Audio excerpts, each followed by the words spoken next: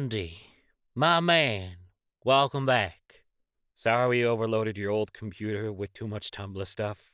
Let's hope this doesn't happen to the second one, am I right? Matching Tumblr icons are just friendship bracelets for geeks. You remember those? Uh, friendship bracelets still a thing? I need to know. The grind never starts. I'm sleeping. Wow. I want that energy. I just saw a only one bed fic with the major character death warning. Well, I guess that's one way to solve that problem. This bed ain't big enough for the both of us. Aesthetic. Dragon Ball characters photoshopped into slice of life animes. That's that's beautiful. Andy, do it for Cosmic Wonders. It has not been 10 hours since I revamped, and already I am fueled with unstoppable power. I'm going to fight every one of you, and I am going to lose. But then I'll win when you least expect it. The Lord giveth, and the Lord take it back now, y'all. Two hops this time. Life's too short not to eat devastating, irrational amounts of cheese. Well, we found the white person on Tumblr. I have mastered the art of stressing out and not caring whatsoever simultaneously. I call it ADHD. I went on a hero's journey within the span of one hour this afternoon. If you even care. Well, he's a fine young man, if you overlook the atrocities. You know, d- d- don't worry about it. I once saw someone pay for something with a ring connected to Apple Pay, and I was just tipsy enough. I thought they punched the card machine and it worked. What if it did? We'll never know.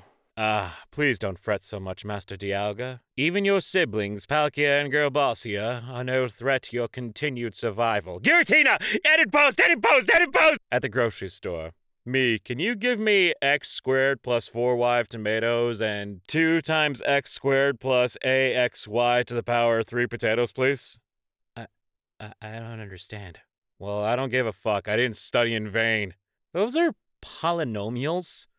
You asked for a never ending curve of tomatoes.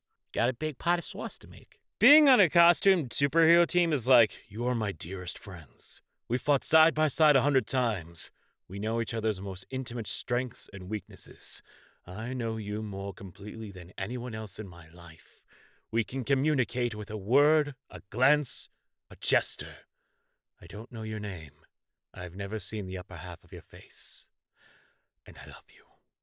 This is what working retail during the pandemic is like. Different half of the face. Yeah, that's that's the only difference. Today I learned that the saxophone was invented only in 1846 by Adolphe Sax. As a child, he survived a three story fall, a gunpowder explosion, drinking a bowl of sulfuric water, a near poisoning due to furniture varnish, and falling into a speeding river. His neighbors called him Little Sax the Ghost. God really didn't want the saxophone invented. And yet here we have it. In fact, Andy, put up your favorite saxophone noise. My new, totally uneducated guess for why human tell stories is to keep them from getting bored and cranky while following a gazelle for four hours. No deeper mystery or meaning. Some folk need a distraction while they tried to catch dinner, so they just made some shit up. The end. The equivalent of listening and singing to songs on your way home so you don't fall asleep at the wheel.